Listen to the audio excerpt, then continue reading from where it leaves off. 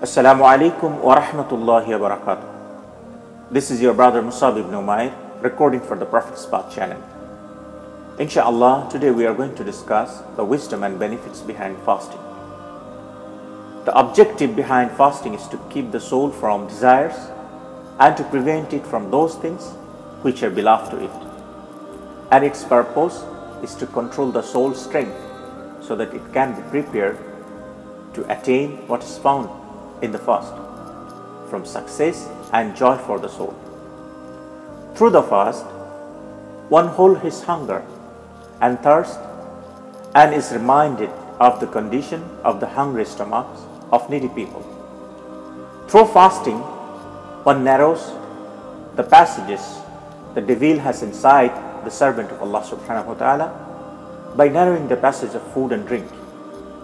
Also, it prevents the forces of the limbs from getting too accustomed to things that are harmful to it in this world and the hereafter.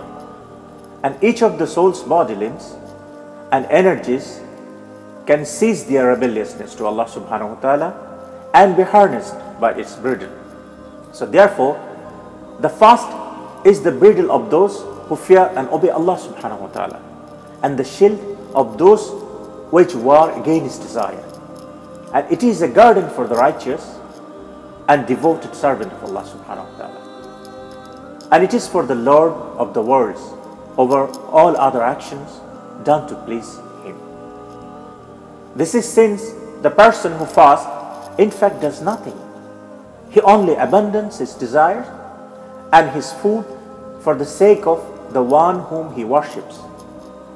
So fasting is an abandonment of those things that the soul loves and desires, preferring instead Allah's love and containment. And it is a secret kept between servant and his Lord. No one else is aware of it. Fasting has an amazing effect in preserving one's outer limbs and inner capacities, as well as protecting the soul from being overtaken by destructive components, which can ruin and destroy it. And it has a remarkable effect in causing all the harmful things that prevent the soul from being healthy to be emptied out. So fasting guards and protects the health of the person's heart and body limbs.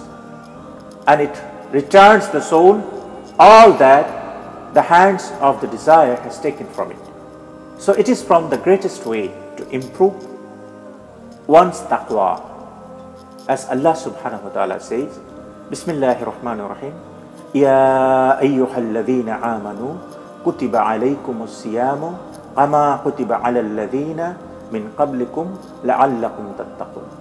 Allah subhanahu wa ta'ala saying, O you who believe, fasting is prescribed for you as it is it was prescribed for those before you in order that you attain taqwa. So fasting is actually mean is to fear Allah subhanahu wa ta'ala and to be away from those things which Allah subhanahu wa ta'ala dislikes. This is the main reason behind fasting. May Allah give us tawfiq to understand and practice. إني ألقى الإيناس في صومي وصلاتي ودعائي للرحمن وجميع الطاعات إني ألقى الإيناس